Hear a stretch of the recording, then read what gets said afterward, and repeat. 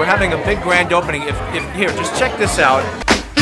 We want to make these ceremonial first cut.